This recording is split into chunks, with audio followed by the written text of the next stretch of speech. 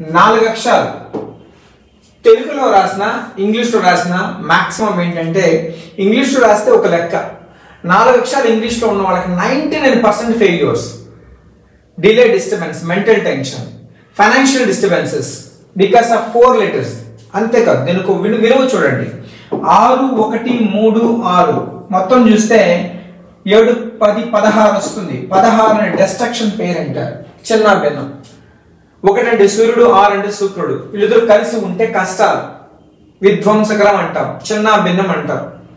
తెలివి మీకు అద్భుతంగా ఉండొచ్చు కానీ లక్ ఉండాలి కదా. ఆ లక్ మీ పేరులో ఉండాలని చెప్తుంది సంఖ్యాశాస్త్రం దీన్ని ఇంగ్లీష్లో న్యూమరాలజీ అంటారు. దయచేసి ఒక అక్షరాన్ని సరిచేసుకుని ముందుకు వెళ్ళండి.